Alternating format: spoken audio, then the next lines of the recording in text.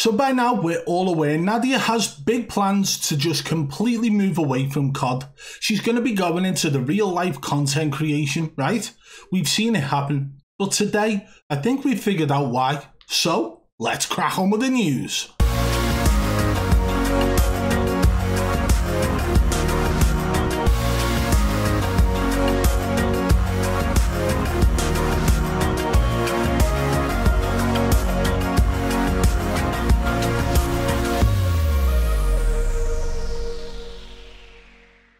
Now, there is a lot of speculation surrounding this subject. Maybe Nadia is actually moving away from COD because she doesn't want to continue cheating now that she's been exposed so much. Or maybe it's the fact that she realised she wasn't good enough at Call of Duty when she attended those LAN events. In fact, I remember NickMercs specifically talking about people who can't perform at LAN events, and we're going to show you that clip now. You, Nadia, I, I'm not. I'm not. I, I have no idea. I don't know her. I barely know of her. Um, and I'm definitely not going to get caught up in the in the bullshit about I guess some girl cheating or not. You know. I'll say this though. I will say this. This is my rule after all these years in in gaming. i I'm going to tell you this. If you ever think a player's cheating, Okay, I'm sure. How many of you guys think people are cheating? Like people that are have viewers, whatever the fuck, you know. How many of you guys think in your heart of hearts that certain people are cheating?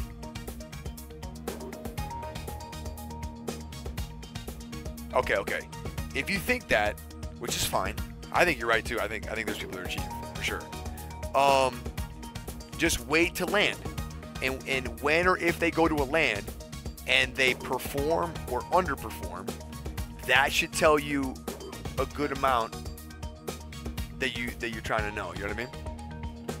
That that that should tell you. If you go to a LAN and you see this completely different player, that's that's a problem, in my opinion. You know, I mean, listen, not everybody's gonna always perform every time they go to LAN, but you realize at that Call of Duty LAN, we played for how many hours? Played for like a whole day. It was like eight hour. It was like an eight hour stream where we played. Not only did we play the BR, but we played like fucking Hardpoint and TDM and S&D and third person mode. I mean, I don't know. That's definitely a thing. Herbs are a thing though. I'm not talking about being scared or anxious. I'm talking about I'm talking about you, you, you see this guy or this girl, whatever, whoever the fuck, and they're performing incredibly online. And they get to LAN and they're just fucking awful. that's a fucking problem.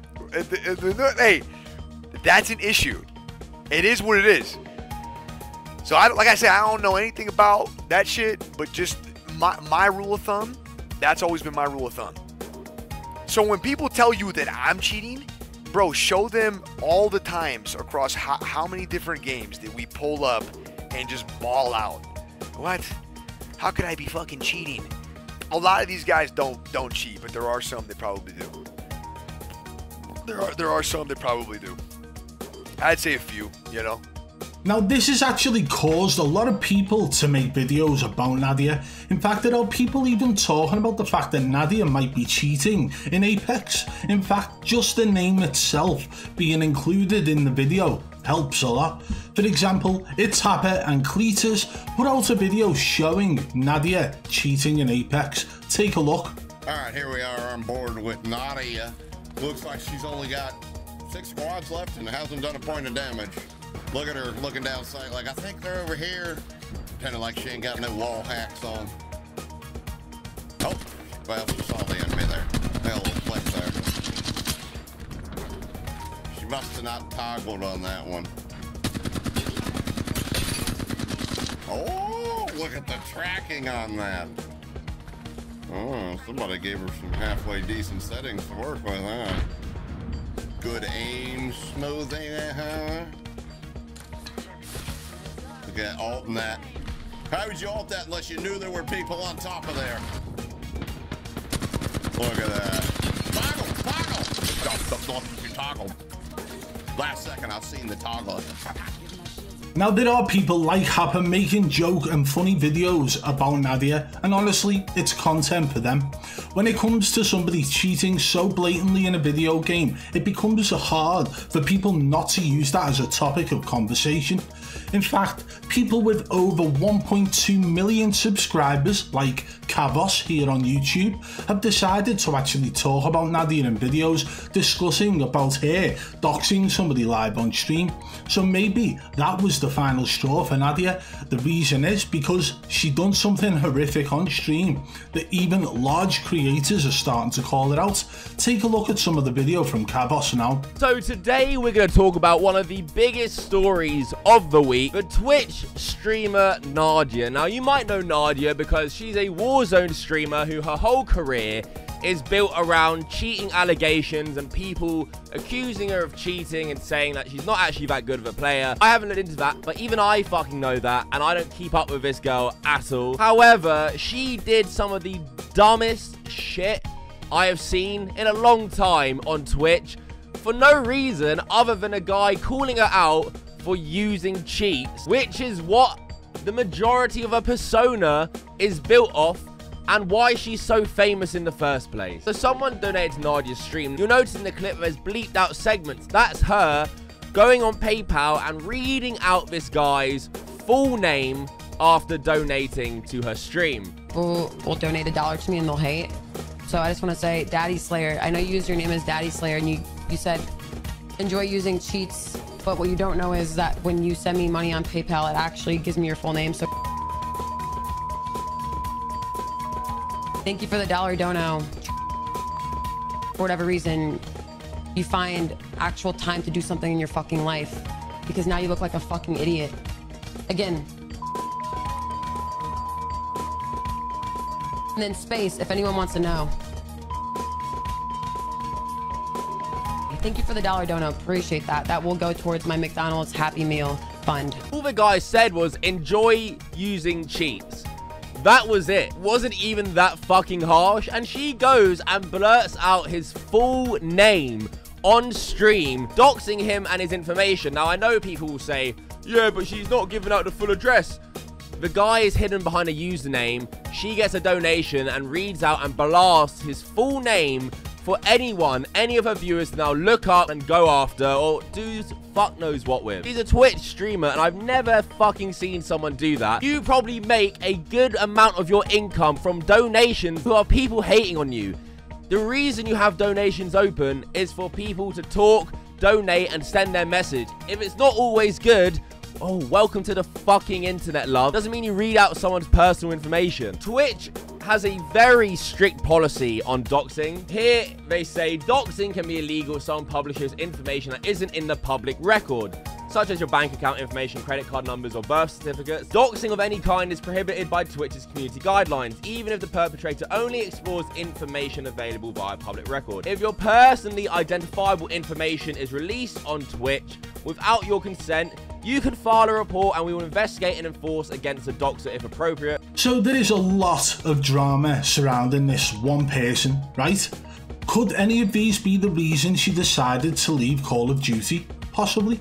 But I honestly think she's got bigger plans. She's always wanted to do something bigger than video games. She claims to be an actress, but has she really featured in any films, plays, or anything that's been heard of? Not really. So maybe if she can just build up that much of a rapport online, then she can move into some sort of TV shows or films or something like that.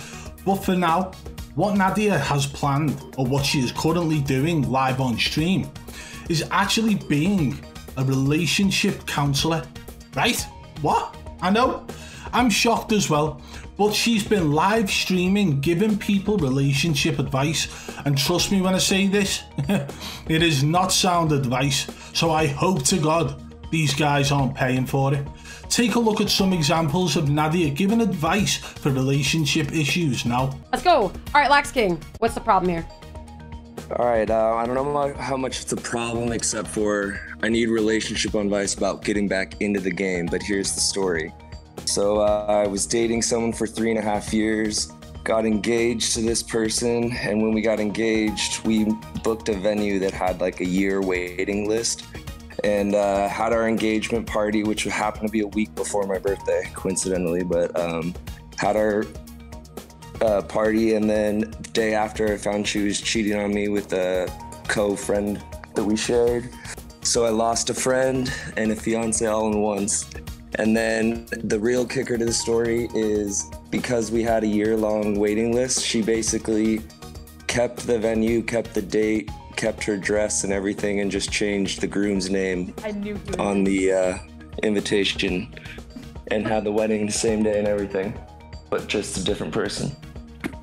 And uh, yeah, so basically, I'm looking for advice about how to get back in the game because truthfully, I just don't trust anyone. Wow. Wow, this is kind of sad. I feel like I've heard this story like multiple times. Like, why does this kind of happen? Like, you know, you find out they're cheating on with your friend. That's looking fucked up. Yeah, it's a two. No, no, no. Honestly, she's weird as fuck for cheating. Like, same venue, same day, the same dress. That's weird. So I just have to say that. What did, did the shit already happen? Did they already? yeah, Oh that yeah, it it already happened. happened. She It happened like a year ago, but Oh, Wait, wait. When's the wedding then? It's supposed to be soon. no, the the wedding happened That's like a I a was year ago. asking. It's Oh, been like oh. a year. okay. Wait, it's that that's in a year. Yeah. Oh, Um, I've are her dated. I've you know, I've Are her dated. I parents just don't together? feel like I trust anyone enough to actually get in a relationship fully. are her parents together? Uh, yeah, her parents are together, but they have kind of a. Okay, shaky yeah, you should definitely fuck her mom, for sure. Oh, and then you should become her stepdad, and then ground the fuck out of her. Mm-hmm. Mm-hmm. Mm-hmm. I like sure. that advice. That would actually get her back and him It would. too, right? Yeah, and then you'd become her stepdad. Just yeah, ground her. and I'd her become phone. both of their stepdads. No, you would become both of her stepdads. You would. You would. Ground both of them. It'd be like a, it'd be a double comeback at him and her. No, you. Sh- yeah, you should definitely fuck her mom. No, for, for real. I like that. Did, did you have a good relationship with her? I'm, I'm being dead ass. Everyone's laughing right now. I'm being so serious. I would do that. I would do that. It's literally like the best choice. Yeah, her mom, uh, her mom did always like to get real close, which is kind of weird that you're saying that, but All right, bro. Honestly, even if her mom ain't it, bro, it's still it's still the move. Just to get back at her, I I, I, I still think it's the move. So, the moral of the story is Nadia will literally do anything to get them views, right? Because that relationship advice she's been giving people is toxic, it's horrible, and it is not sound advice. And I'm sure any relationship counselor will tell you to avoid any advice from Nadia. However, there she is again, streaming on Twitch to thousands of people, talking like an absolute scumbag. So it does appear that she will do anything to get that fame that she desires so much, and maybe that clarifies a lot of the accusations against her from the very early days. But let me know what you guys think. So the question remains, is this what Nadia plans to do on live stream for the foreseeable future? Or will she continue with different games? Or will she actually continue with Call of Duty? It seems like she's looking for an out and she's trying everything possible to see how her chat and fans react to it. Right now, she's a relationship counsellor, but what will she be tomorrow? Who knows? If you did enjoy today's news, guys, smash that thumbs up. If you're new to the channel, subscribe and turn on notifications so you don't miss tomorrow's news. And if you want to get a little bit more involved with the community, you can join our Discord server. It's linked in the description below. Triple B, over and out.